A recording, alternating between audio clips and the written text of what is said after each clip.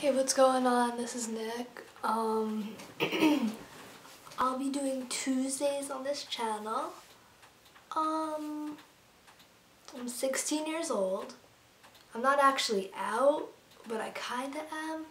Like, my dad knows about it, but not from me.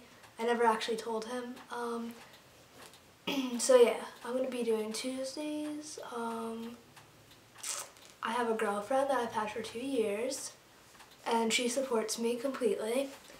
Um, yeah, so that's pretty much it. So I'm going to post my Facebook link, and if you have any questions or you want to talk to me, you can talk to me there.